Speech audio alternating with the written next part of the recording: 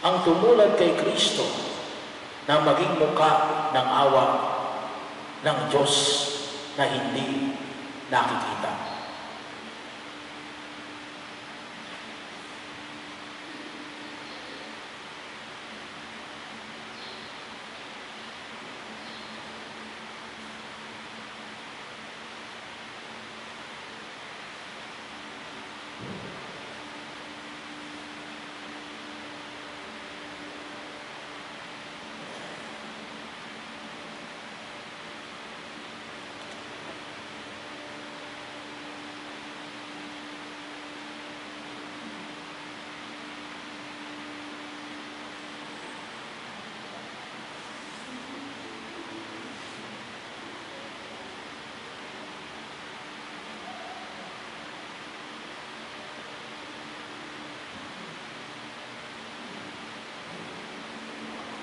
Sumasampalataya ako sa Diyos mga kapangyarihan sa lahat na may gawa ng langit at lupa.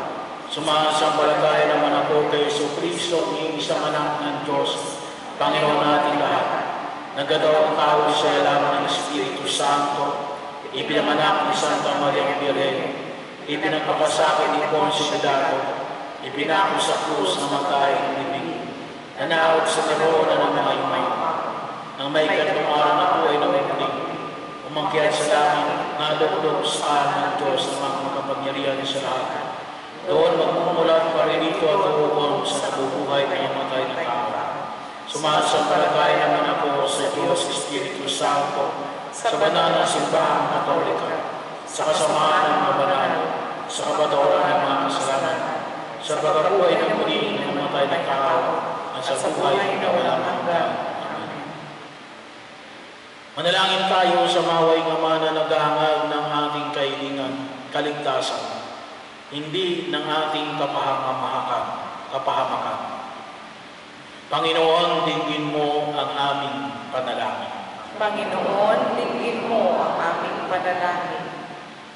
Para sa Santo Papa, Francisco, mga obispo, pari at mga diakono, maging mukha nawa sila ng awa at pagpapatawad ng Ama sa Langit, manalangin tayo.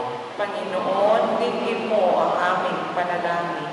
Para sa nanunungkulan sa pamahalaan, pamuno, pamunuan nawa nila ang mga mamamayan tungo sa daang matuwid, pagwawaksi ng korupsyon at pagsupil ng krimen sa bansa, manalangin tayo. Panginoon, dinggin mo ang aming panalangin. Para sa bawat pamilyang Pilipino, sikapin nawa nilang tanggapin at lingapin ang bawat isa sa kabila ng kanilang mga kahinaan at mga kasalanan, kasalanan, manalangin tayo. Panginoon, dinggin mo ang aming panalangin. Para sa lahat ng mga mananampalatayang Kristiyano, samantala hinawa nila ang masaganang biyaya ng pagpapatawad ng Diyos, dulot ng sakramento ng kumpisal, manalangin tayo. Panginoon, dinggin mo ang aming panalangin. Para sa mga kabataang Pilipino, maranasan nawa nila ang natatanging pag-ibig at pagmamalasakit ng mabuting pastol upang hindi sila maligaw ng landas at iligtas sa pagkakasala, manalangin tayo. Panginoon, dinggin mo ang aming panalangin. Ama naming Diyos sa aming pagsusumamo nga, bigyan mo kami ng pusong handang magpatawad sa aming kapwa. Sama-sama nawa namin may pagdiwang ng ligaya ng iyong kapatawaran sa ngalan ni Kristo, aming Panginoon. Amen.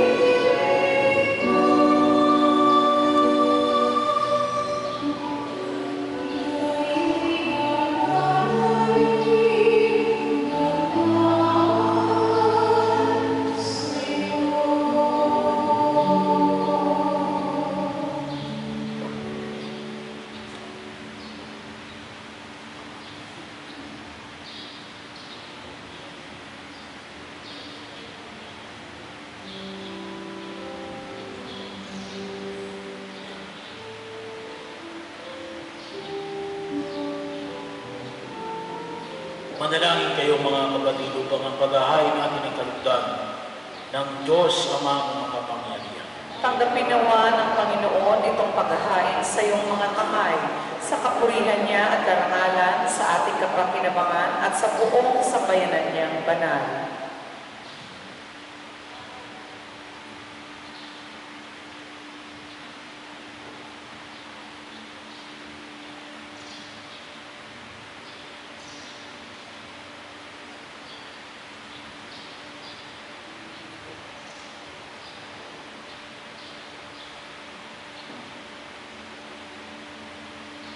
Ama naming lumika, mawain mo dinggin ang aming mga pitaya at paulakan mo ang paghahaing aming inihanda upang ang mga handog ng bawat isang nagbibigay para sa bayin ng banal mong ngalan ay magkamit ng karagdagan mong kasiyahan sa pamagitan ni Yeso Kristo kasama ng Espiritu Santo magpasawalang hanggan.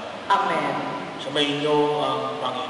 At sumaiyo rin, Taas sa Diyos ang inyong puso at diwa. tinaas na namin sa Panginoon. Masalamatan natin ang Panginoong ating Diyos. Marapat na siya ay pasalamatan. Ama naming makapangyarihan, tuning ang marapat na ikaw ay aming pasalamatan. Sa iyong kagandahang loob kami iyong ibinukod upang iyong may tampok sa kadakilaan ng lubos. Kahit ikaw ay aming tinaligdan dahil sa aming pagkasalawahan, gumawa ka pa rin ng paraang may manguna sa amin para ikaw ay balikan. Kaya ang iyong minamahal na anak ay naging isa sa mga taong hamak upang may kapwa kaming makapagligtas sa aming pagkapahamak at pagkaligaw ng landas. Kaya kaisa ng mga anghel na nagsisiawit ng papuri sa iyo ng walang umpay sa kalangitan, kami nagbubunyi sa iyong kadakilaan.